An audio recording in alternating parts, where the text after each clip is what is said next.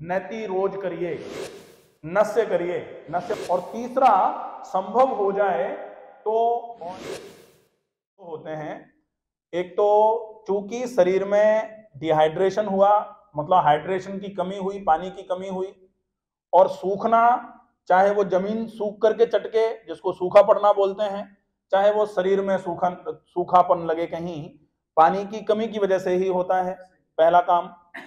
दूसरा गले को सूखने का एक और रीजन होता है, वो होता है नाक का बंद हो जाना। अगर नाक बंद है और आप मुँह से सांस भरोगे तो निश्चित ही सांस मतलब हवा बात और बात वृद्ध और रूक्षता। बात अगर कहीं भी होगा तो रूखापन कराएगा, गले को सुखा देगा। तो अगर नाक बंद हो जाएगी तो गला सूखेगा, या फिर पानी की कमी है तो गला सूखेगा।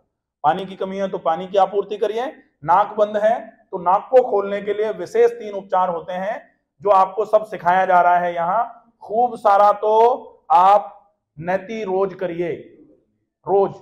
दूसरे नंबर पर, कैसे भी करके आप रेगुलर नस्य करिए। नस्य मतलब नाक में गाय का घी, या फिर बादाम, रोगन तेल, या फिर आप और कोई औपचारिक तेल डाल सकते हैं। और तीसरा, संभव हो जाए तो ऑयल पुलिंग ऑयल पुलिंग भी आपके मुँह को और नाक को ठीक रखने का काम करती है। ऑयल पुलिंग मतलब एक चम्मच सरसों का तेल मुँह में भर के चलाना, ठीक है? तो ये अगर आप करते हो तो डेफिनेटली आपको बहुत अच्छा आराम हो जाएगा।